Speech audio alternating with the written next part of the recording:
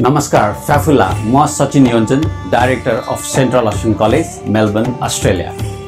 Nepal Tamang घेदुङ उल्लावरीद्वारा आयोजित miss Tamang province number one two thousand नाइन्टिनको ग्रान्ड फिनालेमा म आउन सकिनँ। तर पनि सहभागी सम्पूर्ण बहिनीहरूलाई हार्दिक शुभकामना दिँदै यो मिस तामाङ प्रदेश नम्बर एकमा पहिलो पटक आयोजित भएकाले भव्य र सभ्य तरिकाले सम्पन्न होस् भन्ने शुभकामना व्यक्त गर्दछु। साथै विनर बहिनीलाई अग्रिम शुभकामना दिँदै अरू बहिनीहरूलाई पनि उज्जवल भविष्यको कामना गर्दछु। नमस्ते फ्याफुला